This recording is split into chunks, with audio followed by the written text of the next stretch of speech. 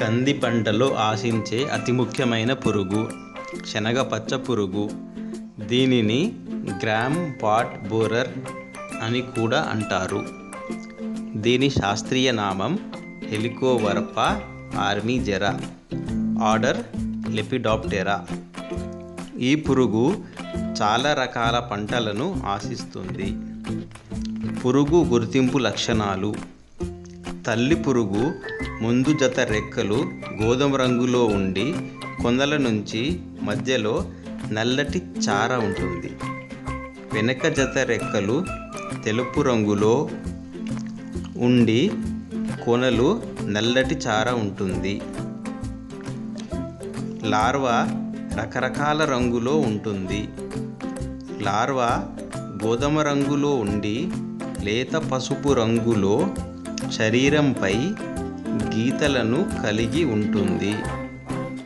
Larva శరీరంపై చిన్న వెంట్రుకలను కలిగి ఉంటుంది. తల్లి రెక్కల పురుగు లేత పసుపు రంగులో గుండ్రని గుడ్లను లేత ఆకులపై పూ మొగ్గల మొగ్గలపై పెడుతుంది. నష్టపరిచే విధానం గుడ్ల నుండి వెలువడిన చిన్న లార్వాలు మొగ్గల్ని గోకి తింటాయి. పెరిగే కొద్దీ లార్వాలు మొగ్గల్ని తొలచి కాయలోకి తలను చొప్పించి మిగిలిన శరీరాన్ని బయట ఉంచి లోపల గింజలను తిని డొల్ల చేస్తాయి. ఈ పురుగు తిన్న కాయకి గుండ్రటి రంధ్రాలు కనిపిస్తాయి. అనుకూల వాతావరణం. ఈ పురుగుకు వర్షం లేదా చిరుజల్లులు పడినప్పుడు రాత్రి ఉష్ణోగ్రతలు ఒక్కసారిగా పెరిగినప్పుడు మొగ్గ పూత కాయ దశలలో ఆశిస్తుంది. ఈ పురుగు వల్ల మనకు చాలా నష్టం జరుగుతుంది. నియంత్రణ చర్యలు. బంతి పువ్వును పంట చుట్టూ మరియు మధ్య మధ్యలో ఎరపంటగా పెంచాలి. ప్రొద్దుతిరుగుడు పంటను అంతర పంటగా వేసుకుంటే పురుగు ఉధృతి గమనించి నాశనం చేయవచ్చు.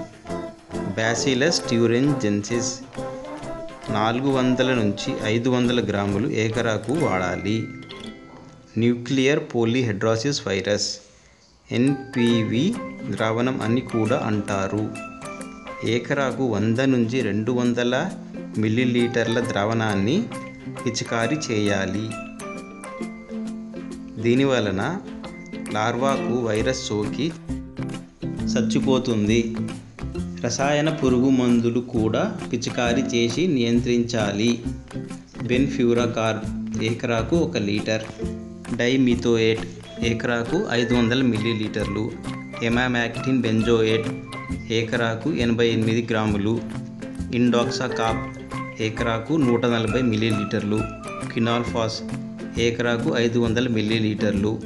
స్పైనోసాట్ ఏకరాకు యాభై మిల్లీలీటర్లు. వేప నూనె ఏకరాకు ఒక లీటర్ పిచికారీ చేయాలి. వేప నూనెలో పై ఏ మందునైనా కలిపి పిచికారీ చేయాలి. మిత్ర పురుగులు పరాన్నజీవులు ట్రైకోగ్రామా టెట్రాస్టైకస్ చెలోనస్ వంటివి పరభక్షకాలు అక్షింతల పురుగు అల్లిక రెక్కల పురుగు సాలిడు వంటివి లింగాకర్షక బుట్టలను ఏకరాకు నాలుగు నుంచి ఐదు పెట్టాలి.